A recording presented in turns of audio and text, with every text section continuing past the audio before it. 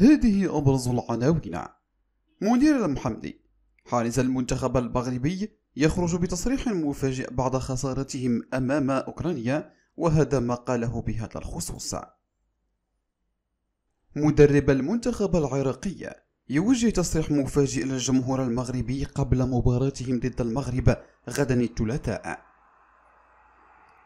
إلياس أخوماش طبيب المنتخب المغربي يحسم في قرار تواجده ضد العراق بشكل أساسي. مانشستر يونايتد يتخذ قرارا مفاجئا بخصوص تجديد عقد الدولي المغربي سفيان مرابط مع الفريق وهذا ما قررته إدارة الشياطين الحمراء.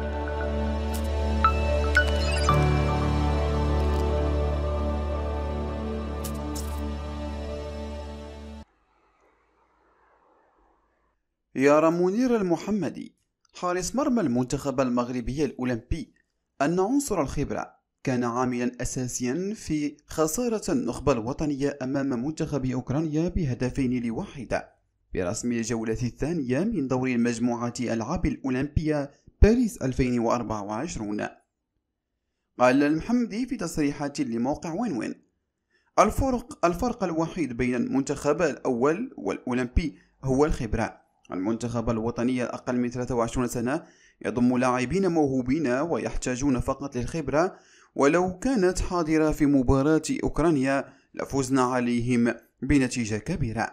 وأضاف منير المحمدي لعبنا بأداء كبير أمام الأرجنتين والجماهير كانت سعيدة بالأداء وراضية على اللاعبين.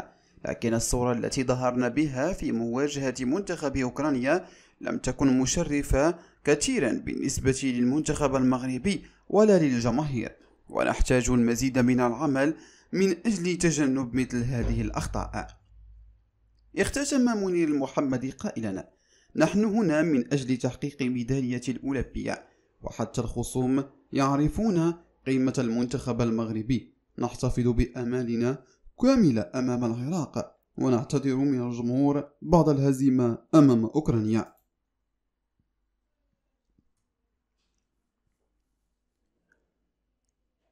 علق رادي شانسيل مدرب المنتخب العراقي الأولمبي على المباراة التي ستجمع فريقه بالمنتخب المغربي لحساب الجولة الثالثة من دور المجموعات الألعاب الأولمبية باريس 2024 مؤكدا أنها مواجهة مصيرية.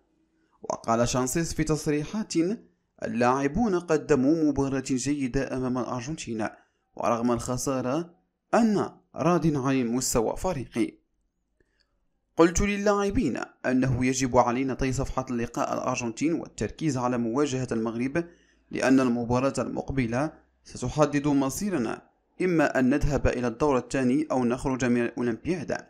وأنا متأكد بأن اللاعبين سيبذلون قصارى جهدهم لتحقيق بطاقة التأهل. وأتم شانزيل حديثه بالقول المنتخب المغربي فريق محترم ومن خلال تحليلي هم يشبهون الأرجنتين ولكن تبقى الفرصة موجودة من أجل التغلب عليهم.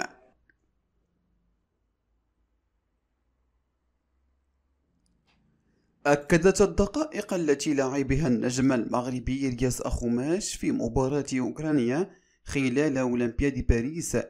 شفاءه التام من الإصابة التي لحقت به في مواجهة الأرجنتين وبالتالي فإن مشاركته في مباراة الحاسمة أمام العراق يوم الثلاثاء المقبل باتت أمر مؤكد بالنسبة لها. كان إلياس أخوماش قد اضطر للخروج مبكرا من مباراة الأرجنتين بسبب الإصابة مما أثار قلق الجماهير والجهاز الفني إلا أن دخوله كبديل أمام أوكرانيا وظهوره بمستوى طيب بدد هذه المخاوف. ومن المتوقع أن يكون إلياس أخوماش عنصرا أساسيا في تشكيلة المنتخب المغربي في مواجهة العراق نظرا لدوره الهجومي الكبير وإمكانيته الفنية التي يحتاجها الفريق لتجاوز هذه المرحلة الصعبة بعد الخسارة أمام منتخب أوكرانيا.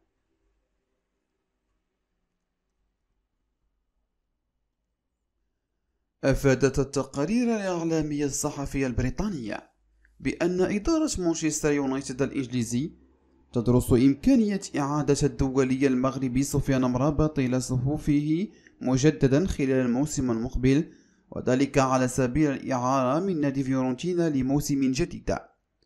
ذكرت صحيفة كورييري ديلو سبورت أن إدارة الشياطين الحمر تفكر جديا في إعادة سفيان أمرابط إلى أولد ترافورد ليكون جزءا من خطط الفريق للموسم المقبل. ويأتي هذا التفكير بعد أن ظهر اللاعب بمستوى جيد خلال فترة إعارته السابقة لإدارة مانشستر يونايتد خصوصا مع اقتراب نهاية الموسم. من جهة أخرى يسعى نادي فيورنتينا إلى بيع عقد اللاعب بشكل نهائي للاستفادة من قيمته السوقية والتعاقد مع اللاعبين جدد. ومع ذلك فإن الفريق الإيطالي قد يوافق على إعارة سفيان مرابط مجددا إلى مانشستر يونايتد في حال لم يتم التوصل إلى اتفاق بشأن بيعه بشكل نهائي. يذكر أن النجم المغربي سفيان مرابط قد انضم إلى فريق مانشستر يونايتد في الموسم الماضي على سبيل الإعارة مع خيار الشراء ولكن النادي الإنجليزي قرر عدم تفعيل هذا الخيار لأسباب غير واضحة. وخاض اللاعب المغربي 30 مباراة مع اليونايتد في مختلف البطولات. ساهم في فوز الفريق بكأس الاتحاد الإنجليزي لكنه عانى من تعثر كبير مع انطلاق بداية الموسم الماضي ليتلقى العديد من الانتقادات من قبل الجماهير والإعلاميين في الدوري الإنجليزي لكنه تحسن أداؤه في آخر مباريات الفريق الأحمر ليخوض مع فريقه الفوز على مانشستر سيتي بكأس الاتحاد الإنجليزي.